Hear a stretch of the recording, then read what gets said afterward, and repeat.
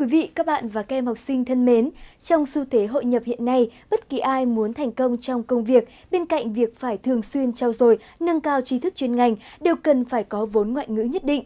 Vì thế, Chính phủ đã ký quyết định 1400 QDTT về việc phê duyệt đề án dạy và học ngoại ngữ trong giáo dục quốc dân giai đoạn 2008-2020. Chương trình Vấn đề giáo dục hôm nay xin được góp một tiếng nói thiết thực vào việc thực hiện đề án này. Nhưng trước hết là phần tin hoạt động giáo dục trong thời gian qua. Mời quý vị và các bạn cùng theo dõi.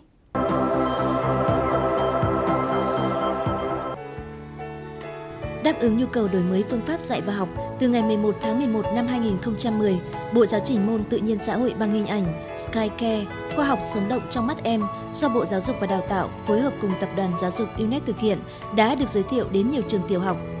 Đến nay, Bộ Giáo trình đã được triển khai giảng dạy mẫu tại một số trường tiểu học trên địa bàn thành phố Hà Nội, Hải Dương, Vĩnh Phúc.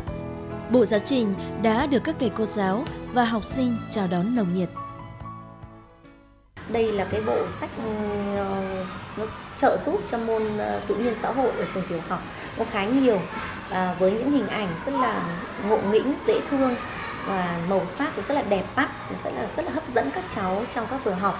Và một ưu điểm nữa là các bài giảng ở trong cái bộ giáo trình này thì bám sát với cả chương trình ờ, ờ, sách giáo khoa của bộ giáo dục.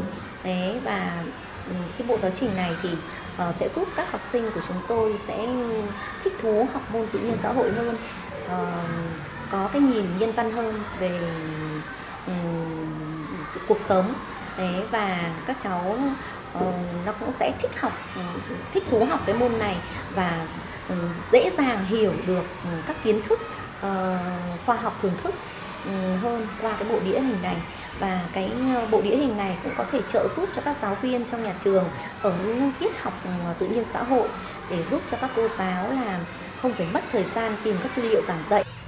Anh Trái Đất, chị Sao Mộc, hai nhân vật trong bộ giáo trình Skycare sẽ đồng hành cùng các em nhỏ trong quá trình học môn tự nhiên xã hội, đã vào từng lớp học giao lưu với các em học sinh.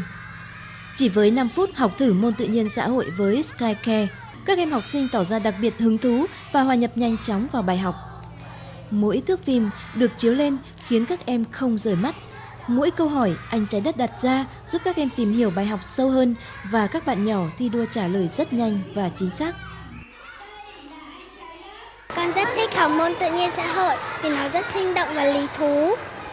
Ngoài ra có có âm thanh và hình ảnh rất sinh động. Theo đánh giá của Bộ Giáo dục và Đào tạo, Skycare là bộ giáo trình tiêu biểu cho hoạt động đổi mới phương pháp dạy và học ở tiểu học. Việc ứng dụng Skycare trong giảng dạy thúc đẩy mạnh mẽ tinh thần chủ động, sáng tạo của người thầy và ý thức học tập say mê của các em học sinh đối với môn tự nhiên xã hội. Trong thời gian tới, nhiều trường tiểu học và các em học sinh sẽ được tiếp cận với bộ giáo trình sống động này, giúp các em dễ dàng tiếp cận với kiến thức thông qua các hình ảnh trực quan.